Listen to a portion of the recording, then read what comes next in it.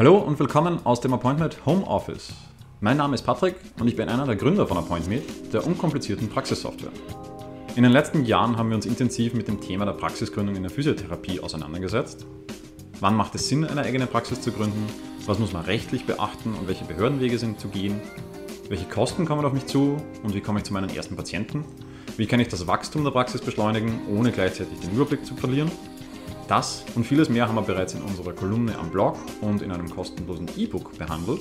Und für alle, die im Fitnessstudio, im Zug oder einfach nur zu Hause gemütlich auf der Couch hinter die Kulissen einer Praxisgründung blicken wollen, haben wir uns mit Julian und Christian zwei absolute Experten der Physiotherapie geschnappt und deren ganzes Wissen in die erste Staffel unseres neuen Podcasts gebündelt. In acht Folgen zeigen dir Julian, Christian und unsere Moderatorin Olga den Weg in die Selbstständigkeit. Viel Spaß beim Zuhören und wir freuen uns auf dein Feedback.